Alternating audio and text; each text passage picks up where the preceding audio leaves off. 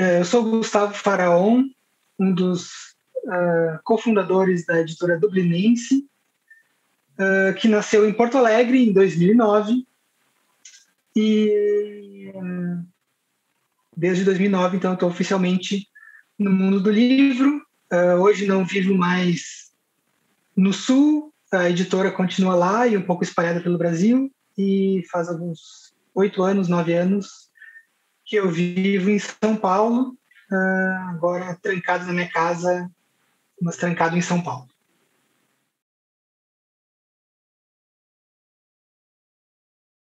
Uh, eu acho que as primeiras memórias que eu tenho de, de alguma relação com o livro uh, são na primeira infância, na casa da minha avó paterna, que era professora, tinha muitos, muitos livros em casa, tinha uma biblioteca infantil em casa, que era uma biblioteca infantil. E eu tenho uma memória também dos de uma vitrolinha amarela desmontável que tocava historinhas. Assim. Então, esse audiolivro revolucionário que se fala agora, eu me lembro dele ali no começo da década de 80. Esse é, é, é a memória mais longínqua que eu tenho da minha relação com o livro. Né? Um, depois, assim, não tenho, não tenho nenhuma história especial ou diferente de ninguém uh, com o livro. Né? Eu, eu uh, não, nunca fui assim um super ultra leitor ali na minha, no final da minha infância, no começo da adolescência. Uh, e foi mais, eu acho que no final, nos anos finais da escola mesmo, do colégio, ali, 14, 15 anos, que eu comecei a ler uh, de verdade, digamos, ter um interesse uh, pelos livros mais real. Eu acho que esse interesse tem muito a ver com o fato de descobrir que os livros eles poderiam conter coisas muito além das, das temáticas desenvolvidas pela escola, pelo colégio. Então, quando você descobre que o livro ele pode ter palavrão, que o livro ele pode ter sacanagem, que o livro pode ter um conteúdo que, sei lá, que, que, você gosta, que provoca você, que toca você de outras maneiras, você começa a ficar mais interessado, porque ele perde aquele caráter mais burocrático que às vezes o colégio tem mais dificuldade, ou tinha na minha época um pouco mais de dificuldade de, de driblar, digamos assim, né? Um, depois, estranhamente, eu, eu eu acabei, eu não, eu não tenho nenhuma formação em letras, não tenho nenhuma formação uh, específica do mundo do livro. Eu fui extremamente estudar bioquímica antes de mudar para o jornalismo. E aí sim, na faculdade de jornalismo é que eu vou me aproximar mais do livro como, digamos assim, começa a traçar esse caminho que me traz até aqui. Eu acho que uma das coisas determinantes foi uma uma disciplina da Faculdade de Jornalismo que era ministrada por um professor da Letras uh, chamado Paulo Sebem.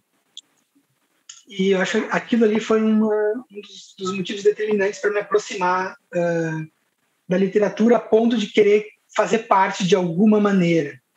Dali, depois daquelas disciplinas com o, professor Paulo Sebem, eu acabei caindo na oficina de escrita criativa do professor Assis Brasil, né, que ele ministrava na época na PUC como um, um programa de extensão.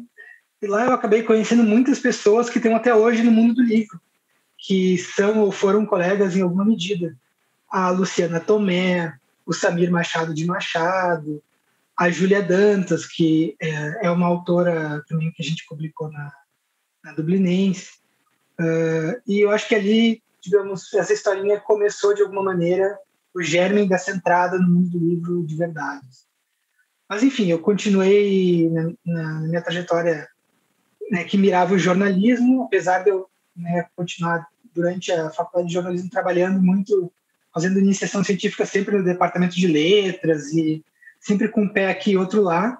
Eu comecei minha, digamos, minha carreira profissional como jornalista, mas digamos que eu não estava assim muito muito seguro, não estava muito muito confortável nesse lugar que é o jornalismo. Então foi quando em 2009, né, no, meio dessa trajetória eu já tinha a gente tinha feito um livro coletivo, essa turma de amigos aí publicado algumas coisas. Eu tinha participado publicando um continho meu e tal, mas enfim, também nunca fui exatamente um aspirante a escritor, queria mais era estar envolvido nas coisas. Uh, e nesse meio do caminho surgiu a Não Editora, que foi uma, uma iniciativa independente uh, formada por vários amigos meus em qual eu não estava envolvido, né? mas todo, todos os, os fundadores originais são amigos daquela época. E aí, dois anos depois que surge a editora, o Rodrigo Rosp, que é um dos fundadores da editora, ele me procura, a gente tinha trabalhado juntos alguns anos antes, e ele me procura com essa ideia de fundar uma editora que fosse o oposto da não editora, porque a não editora ela nasce com um quê de rebeldia, uh, com uma proposta muito rígida no sentido de tem que ter um descomportamento, tem que ter uma provocação, só uh, publicava ficção de autores brasileiros, jovens e tal, e o Rodrigo queria experimentar nessa área. Então ele me procurou, me convidou para a gente fundar uma editora que tivesse como proposta uh, basicamente ser aberto à experiência. A gente queria uh, experimentar, a gente queria errar, a gente queria aprender, a gente queria navegar um pouco livremente e foi o que a gente fez. Então foi mais ou menos assim que surgiu em 2009 a Dublinense e é assim que oficialmente começa uh, a minha trajetória, a minha vida com os livros.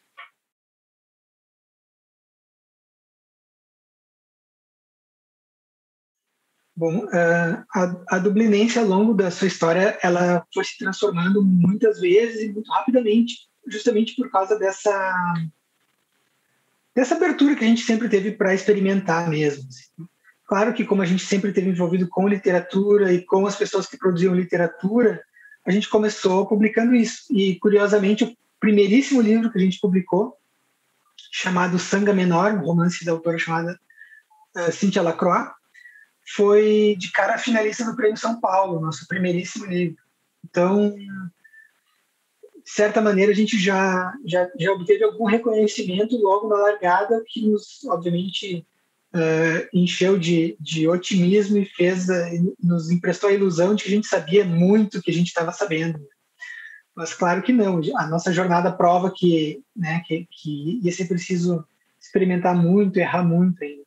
Então, esses primeiros, primeiros anos da editora, a gente experimentou, por exemplo, publicando livros de esporte, a gente publicou algumas biografias musicais, a gente experimentou, inclusive, num gênero meio de negócios, para ver tudo que, tudo que a gente poderia publicar, tudo que ia dar certo ou não, qual era a dinâmica, como é que funcionava. Né? Alguns desses títulos ainda estão no nosso catálogo, né? para quem for olhar o, o backlist, mas a maioria já não está mais. Uh, apesar de ser um pouco diferente do que a gente faz hoje, foi super importante para nossa trajetória, né, para a gente construir, para a gente ter certeza do que, que a gente queria fazer, do que, que a gente sabia fazer.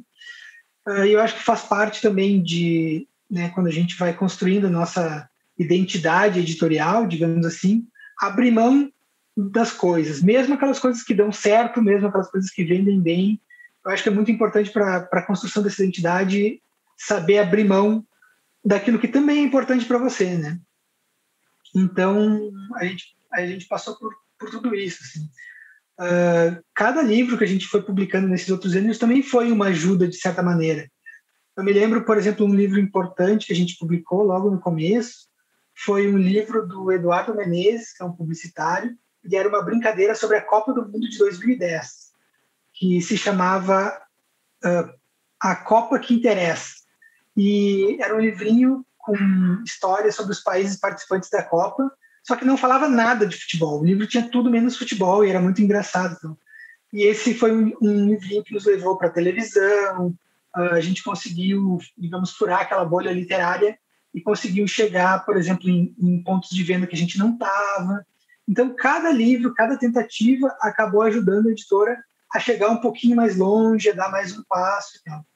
Então, aconteceu isso no livro, nesse livro do Eduardo Menezes, em 2010. Depois a gente publicou, por exemplo, a biografia, uh, a biografia do Joey Ramone, uh, escrita pelo irmão dele, uh, que foi um, chegou até incidentalmente até mim, através de, de amigos e tal. A gente publicou, que era uma coisa diferente do que a gente fazia, e foi outro livro super importante para que a gente conseguisse chegar a mais pessoas, conseguisse estar em mais canais de venda, e tudo isso vai ajudando também né, a editora a se profissionalizar, entender como é que funciona o mercado e também ficar mais preparada para fazer a literatura, que é muito mais difícil de vender, uh, fazer com que os nossos livros literários também chegassem mais longe, né? Então, essas experiências cruzadas, por mais que pareça que elas não têm muito a ver, elas, sim, elas foram fundamentais para a nossa história. Né? Eu acho que, então, assim, pela, pela, pelo lugar de onde a gente vem, né, Porto Alegre, Rio Grande do Sul, a gente sempre teve uma relação uh, quase umbilical com, com a escrita criativa da, da PUC, né?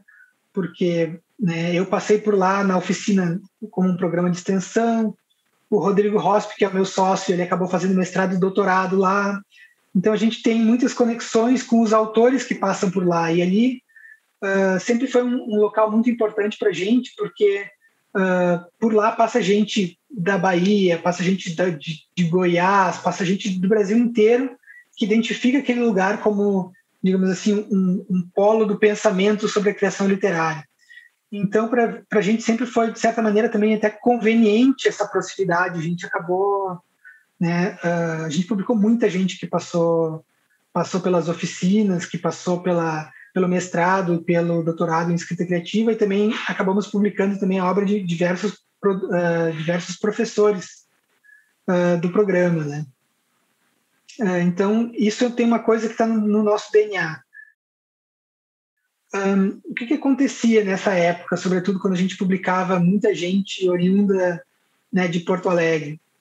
Uh, isso gerava uma enorme dificuldade da editora de conseguir, como a gente chama, atravessar o Mampituba, que é o rio que divide o Rio Grande do Sul de Santa Catarina.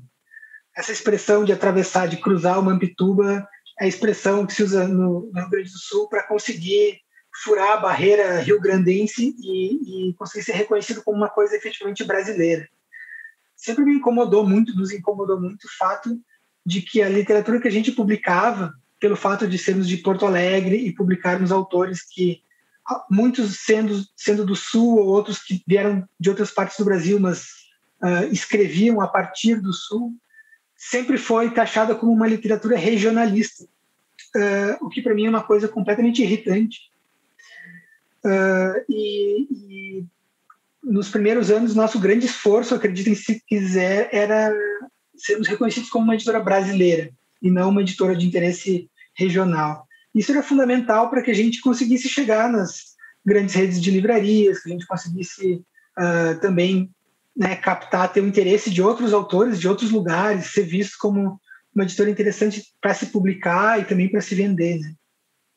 Uh, essa foi uma parte é, especialmente difícil né, da, gente, da gente conseguir vencer. Acho que duas coisas colaboraram para a gente conseguir, uh, como a gente fala, cruzar o Mampituba e virar brasileiros. Né? Uma das coisas foi a minha mudança para São Paulo, eu acabei me mudando para São Paulo, uh, também por conta da editora, mas uh, por questões pessoais eu acabei vindo para São Paulo, e é claro que isso ajudou muito a gente circular mais. Uh, mas a verdade, eu acho que o real motivo dessa transformação é um motivo 100% provinciano e um pouco vergonhoso, que é para a gente ser vistos como brasileiros, a gente acabou tendo que primeiro ir para o exterior e começar a captar e publicar literatura internacional. No momento que a gente começou a publicar autores alemães, americanos, ingleses, a partir desse momento a gente deixou de ser uma editora gaúcha, uma editora do Sul, e começamos a ser percebidos como uma editora brasileira, o que né, tem esse aspecto, esse provincianismo, é, né, que é quase uma âncora, assim, mas é a verdade, assim, foi que, na minha percepção, foi o que acelerou o nosso processo de, de crescimento uh, em outras regiões, né? Uh, e aí o que, que, o que acelera muito esse processo de internacionalização da Dublinense para ser percebido como uma editora brasileira foi também a, a, a, participação na Feira de Frankfurt como convidados em 2012, que abriu muitas portas para a gente, não só para para que a gente pudesse trazer autores de fora de, de lugares pouco óbvios para serem publicados no Brasil, mas a gente também começou um trabalho muito forte, que a gente nunca mais parou desde então, de levar os nossos autores uh, para outros países. Então fica sendo até um pouco, é quase uma quase anedótico, né, que os que os, muitos dos autores que a gente publicava, que a gente conhecia em Porto Alegre, eles não eram brasileiros o suficiente para serem vendidos e, e para serem lidos pelo resto do Brasil, mas eles eram brasileiros o suficiente para serem vendidos para outros países, né, para o mundo árabe, para a Alemanha, né, para sei lá Inglaterra, Espanha, enfim. Uh, e assim foi, uma trajetória completamente torta, uma trajetória uh, circunstancial de aprendizado totalmente empírico, uh, mas é que nos trouxe até aqui e nos ensinou coisas bem valiosas que a gente usa hoje e a gente não esquece de onde a gente vem, das coisas que a gente viveu na hora de fazer as escolhas, na hora de pensar os próximos passos.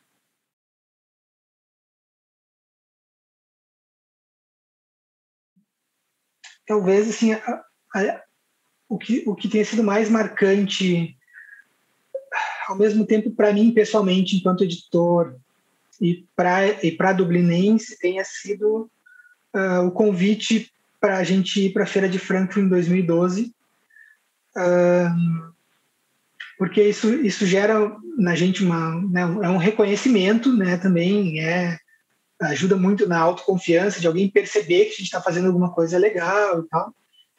Mas também foi uma, uma aceleração gigantesca no que no, no aprendizado das, e para conseguir vislumbrar todas as possibilidades uh, que a gente tinha como editor assim.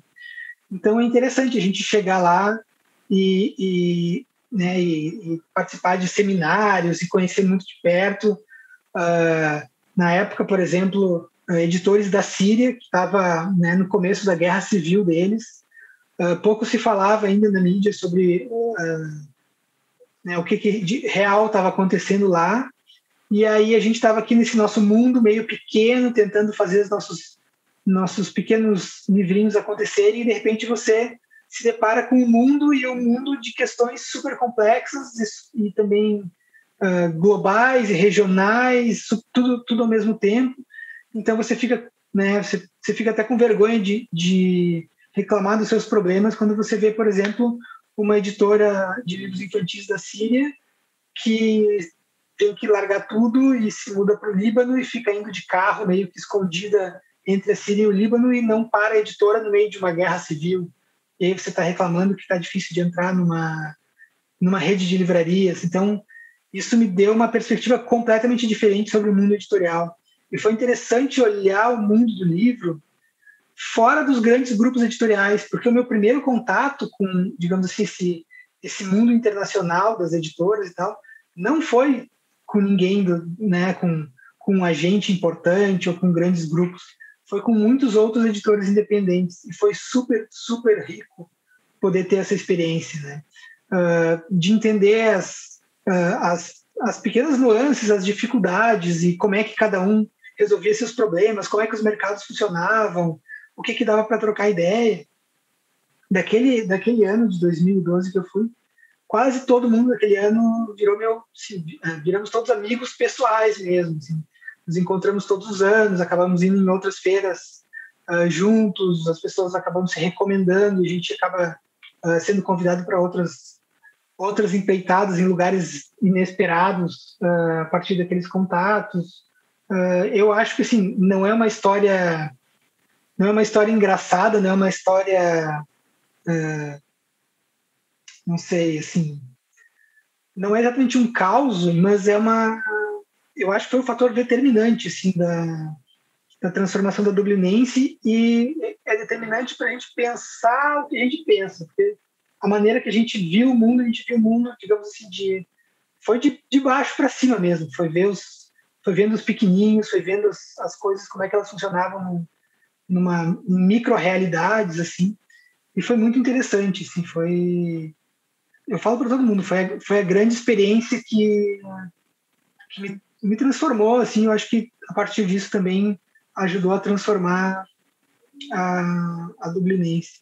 A partir de então a gente teve nossa sorte de, de fazer coisas muito interessantes assim, a gente né, de ter, ter livros. Agora a gente teve uh, o primeiro livro vendido para faz uns dois anos para a língua árabe, agora a gente está tendo mais um que vai ser lançado uh, no Egito também. A gente teve livro que foi comprado pela por uma editora da Indonésia, outro da Bielorrússia, mas coisas que são meio impensáveis e que, enfim, embora não seja o foco principal da editora, é uma das coisas que a gente acha mais legais poder descobrir um autor, ver uma pessoa que nunca publicou um livro, acreditar no trabalho dela, publicar aqui, daqui a pouco ver esse livro uh, eventualmente sendo um sucesso nos mercados tão, tão distantes e tão diferentes.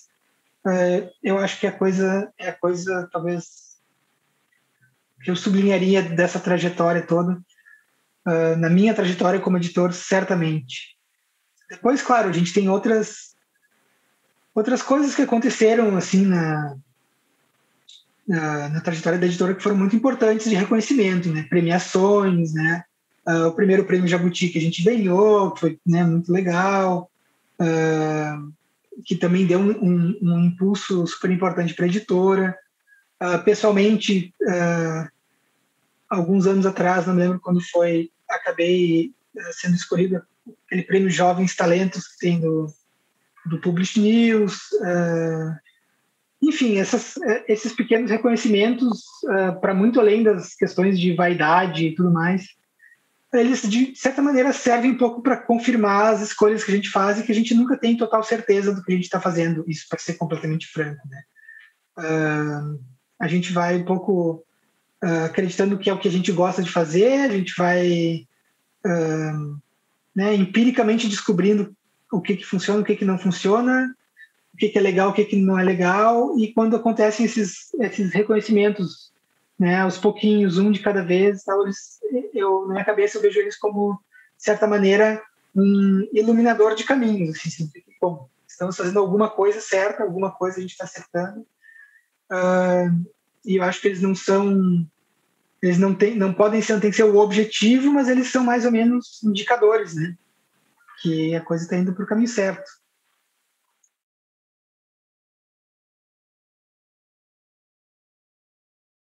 O que, que significa isso? Gosto de ler, uh, especialmente aquilo que não deveria estar lendo.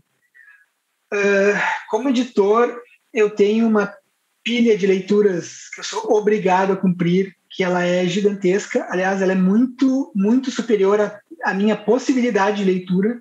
Se eu não fizesse mais nada o dia inteiro e ficasse só lendo, que eu adoraria, mas não é possível, eu não chegaria nem perto de cumprir. Né? Então, uh, em alguém que gosta muito de ler e que gosta genuinamente de descobrir coisas.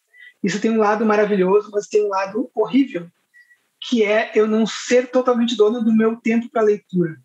Então eu tenho que cumprir muitas obrigações, eu tenho que ler textos específicos que eu não necessariamente estou muito afim de ler naquele momento, mas eu preciso ler, eu preciso dar retornos, eu preciso, enfim, eu preciso, eu preciso, eu preciso, eu preciso, eu devo, eu devo, eu devo, eu devo. E aí tudo que fica obrigatório fica menos saboroso, né? Fica menos legal. Então a minha a minha vida aqui de, de leitor atualmente é um eterno conflito entre o que eu sou obrigado a ler e o que eu efetivamente gostaria de, de estar lendo. E aí, por exemplo, dentro da minha pilha uh, gigante de leituras, eu estou sempre abrindo um outro livro que eu não deveria nem chegar perto, estou sempre comprando mais livros que eu não deveria comprar, uh, que de alguma maneira acabam disputando meu tempo com toda aquela pilha das obrigações, né? Uh, então, bom, ontem eu e aí eu, às vezes eu, eu, eu crio algumas algumas armadilhas para mim mesmo, então assim, ah, eu acabei de ler o que eu tinha que acabar, então agora eu posso abrir aquele livrinho, sei lá, da Adília Lopes que eu queria ler há tempos e não tinha conseguido abrir. E beleza, abri o livro e aí esquece, não vou ler o que eu, que eu era obrigado a ler porque eu agora eu embarquei em outra coisa, sabe? Então é, é uma constante, um constante jogo de fazer o que eu quero versus fazer o que eu devo, né? Uh, e tem uma coisa que, que é um pouco estranha, que é mesmo que eu publique o que eu gosto, mesmo que eu publique que eu me interesse pelo que eu quero me interessar, no momento que aquilo vira trabalho, aquilo vira trabalho, né? Então, às vezes, por mais que alguns dos livros né, que, que eu tenha que ler sejam excelentes, nota 9, 10, 11, nota 12, coisas realmente maravilhosas e que, e que me encantam. Só pelo fato de eu ter que ler aquilo naquele momento, eu já fico na minha cabeça criando uh, algum mecanismo, alguma maneira de parar de ler aquilo e ler outra coisa, né? Então, por isso que eu digo que eu gosto de ler o que eu não devia estar lendo. Eu estou sempre olhando para a estante pensando que, na verdade, é aquela outra coisa que seria mais legal para ler agora. Então, essa é a minha luta constante do, do que, que é o editor lendo, o que, que é o leitor lendo por prazer. Uh, e é isso. É uma coisa completamente contraditória, é uma coisa maluca, né? Uh, mas é isso. É meio que, de certa maneira, talvez seja uma maneira que eu tenho para uh, lutar para resguardar o prazer da leitura. Não sei. Talvez seja uma, uma tática de sobrevivência.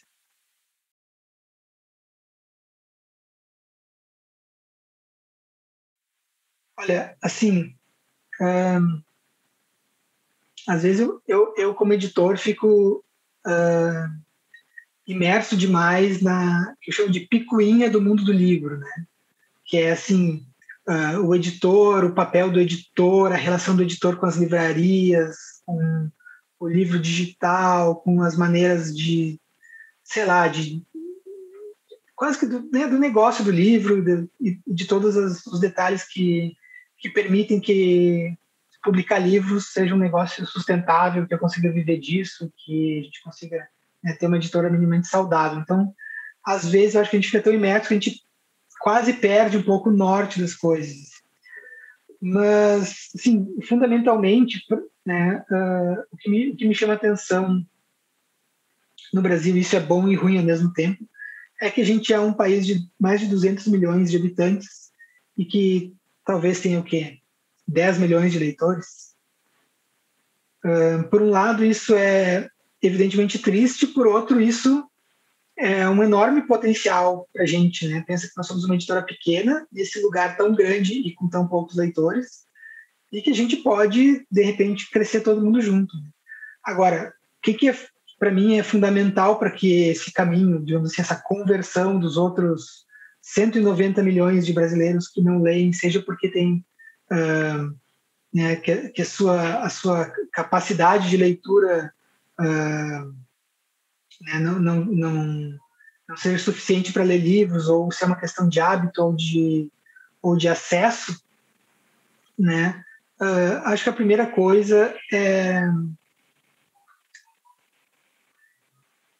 parar de falar do, do livro uh, de maneira tão cheia de regras, tão cheia do que deve ser, de como deve ser.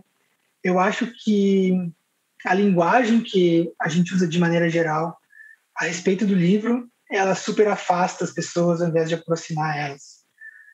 Uh, e aí você vê, se você pega todas as polêmicas atuais, as mais recentes sobre o mundo do livro, elas são todas ancoradas de alguma maneira uh, e um pouco de um pouco de preconceito, um pouco de velhaquidão, assim. Uh, o mundo do livro ele é muito antigo, então ele tem muitas regras, ele é ele tem ele tem os seus tabus, assim, e qualquer pessoa, entidade ou comportamento que de alguma maneira desafie isso é, no primeiro momento, visto de uma maneira negativa.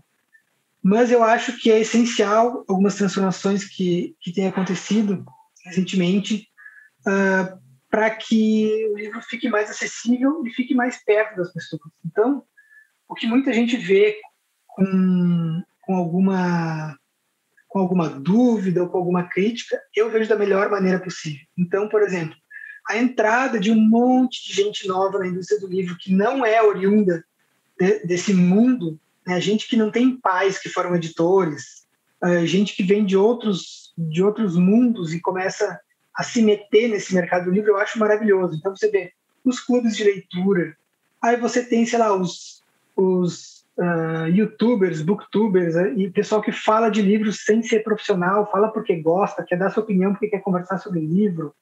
Uh, os clubes de leitura que já se espalhavam por aí agora nesses tempos pandêmicos aí na internet vai, vão se espalhando tudo isso que em, em, alguma medida quando eles vão quando vai começando é objeto de crítica eu acho que são as coisas mais importantes que tem para quebrar uh, essas barreirinhas que a gente se impõe no mundo do livro, que eu acho que são muito fruto do nosso conservadorismo enquanto enquanto gente do mundo do livro, né?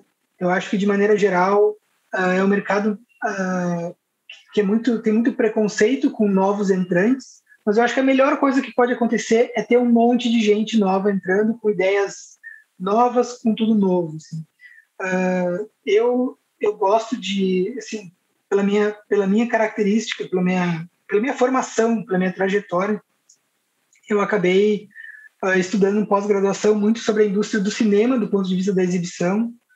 Uh, também acabei me aproximando muito de gente da música e conhecendo um pouco do, dos, dos meandros de como funciona uh, a indústria da música. E às vezes, quando eu tenho dúvidas sobre o que fazer no mundo do livro, eu penso não na, na história e nas, digamos assim, nas melhores práticas uh, que norteavam outros editores, editores mais antigos, mais famosos. Eu penso em o que, que as outras indústrias da, da, né, da, da cultura, o que, que o cinema, o que, que os, sei lá, as séries, o que, que os músicos que têm uma vida dificílima, o que, que o teatro faria para resolver esses problemas.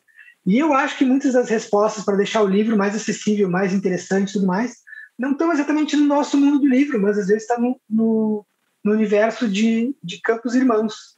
Eu acho que é super interessante a gente olhar um pouquinho mais para o cinema e ver que outras soluções eles conseguem ter. Né? Hoje, uh, tu vê, tá, todo mundo tem um cinema dentro de casa, eu tenho certeza que o consumo de filmes deve ser estratosfericamente maior, uh, ainda que ainda que o uh, menos gente vá às salas de cinema, né? O consumo de música também é estratosfericamente maior, mesmo que agora nesse momento a gente esteja impossibilitado de ir a um concerto, por exemplo.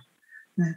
Então olhar o que que, que que os outros campos estão fazendo, como é que eles conseguem deixar uh, né, os, os produtos deles, os bens uh, culturais, simbólicos e tal, mais acessíveis mais atraentes para mais gente e tal, e se inspirar um pouco nisso, né? Porque não é possível que só meia dúzia goste de ler. Eu acho que meia dúzia teve a chance de explorar uh, o livro em sua totalidade. Assim. Então, eu acho que o lance de, de, a gente ficar dizendo que o livro tem que ser mais acessível não é só mais acessível tendo mais livrarias e mais bibliotecas. Isso também é muito importante. Mas eu acho que é quebrando mais, mais barreiras e deixando ele mais acessível, seja da maneira com que a pessoa quiser consumir, né? Se ela quiser consumir através de uma plataforma de streaming, que, sei lá, mal existe hoje, que seja. Se ela quiser ouvir o livro através do Spotify, que seja. Né? A gente tem que acabar um pouquinho com o nosso, nosso preconceito. Uh, acho que nós, editores, somos bastante ainda uh, apegados a, a, a, certos e errados. Eu acho que quando a gente vai se libertando disso, a gente vai deixando o livro uma coisa mais simples, mais convidativa. Uh, e eu acho que essencialmente é o caminho para que mais pessoas se aproxeguem e se juntem na comunidade de leitores e faça crescer isso.